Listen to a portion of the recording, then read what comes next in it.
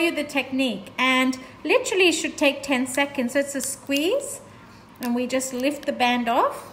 Same thing on this side. We just squeeze. We lift the band off and that's off. So it's that simple.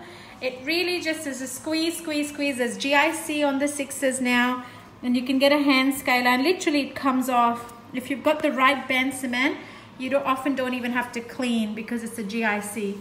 So as you can see, I'm going to show you in the mirror. Open for me.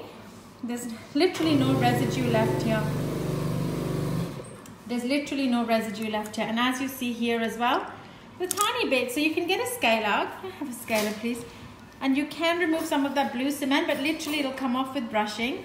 So bite down, honey, and what you can see, the crossbite's gone. We've got enough room. Open again, huh? And we're just removing the blue, little blue GIC cement. I'm gonna show you the band cement that I love to use for RME. And um, it's really good one, get it, because you can literally see where the cement is. And here we go.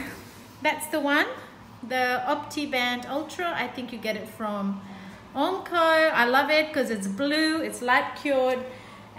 And that was the quickest video ever. Show you how to remove an expander. Thank you guys, thanks for watching.